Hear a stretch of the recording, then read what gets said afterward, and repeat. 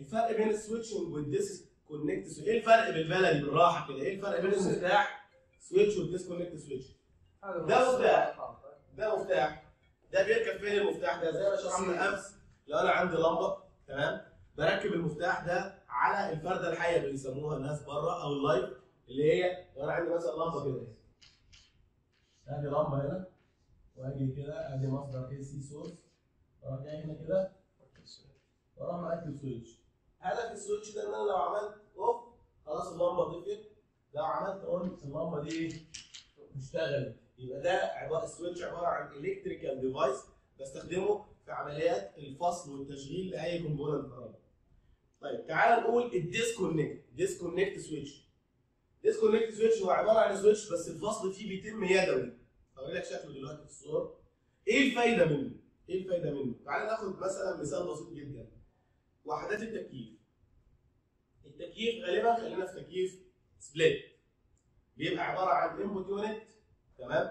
بتاع ده indoor unit و outdoor unit. الوحدة الداخلية اللي انت بتشوفها دي اللي بتطلع لك الهواء وال outdoor بتبقى فوق على السطح مثلا تمام طيب الراجل دلوقتي حصلت مشكلة فوق على السطح وعايز يبدأ يفك الوحدة الخارجية دي اللي هي على السطح ويشتغل بيها هيعمل إيه لازم يفصل الكهرباء الأول يفصل الكهرباء هيروح يفصلها من المفتاح اللي موجود في الغرفة تحت. مفتاح التكييف العادي بتاعنا. يروح واصل كده تمام؟ ويطلع يشتغل. جه واحد غبي. الله المفتاح ده إيه؟ زي الفل. رافع كده الراجل مات فوق.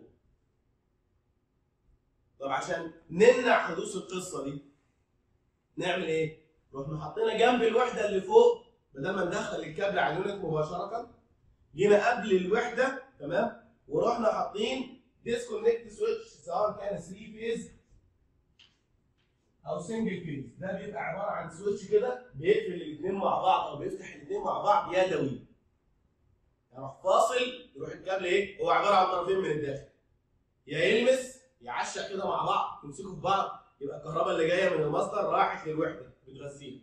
أو فصلته بقي open circuit وبالتالي حصل إن مفيش تيار هيمر هنا.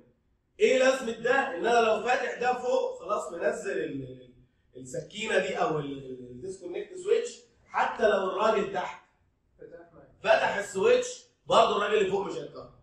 ودي دايما دايما حسب كود الكهرباء السعودي بتشترط إن ال disconnect switch دي تبقى جنب ال component اللي أنت هتشتغل عليه. ليه؟ for more safety لأن دي بقى يعني إلى يعني بص لو انت بصيت في كود الكهرباء السعودي هتلاقي تقريبا أكثر من ربع الكود بيتكلم عن ال safety. لأن فعلا أكبر خطر في أي حاجة في الدنيا الكهرباء. فهتلاقي ال branch بتاع ال safety في الكهرباء واخد أكبر حيز. تمام؟ فمهم جدا إن إحنا نيجي على الوحدات الميكانيكية تمام زي الوحدات الخارجية في التكييف أو pump مضخة مثلا أجي على المضخه نفسها فاصل لأن ممكن يبقى وحدة الكهرباء يعني إحنا مثلا دلوقتي فصل امتحان كهرباء صح؟ رحت أنت طلعت عملت إيه؟ دوست على switch بره. فتخيل لو واحد مثلا ال switch ده بيعمل on و off الحاجة فيها كهرباء وإحنا هنمسكها. واحد دلوقتي راح جري بسرعة راح عامل on. وواحد هنا فاكك معدة معينة. تمام؟ وشغال. عمل له on الراجل مات. فلازم يبقى اركب disconnect switch اللي هو الفاصل الميكانيكي عن الحمل ويبقى جنب الحمل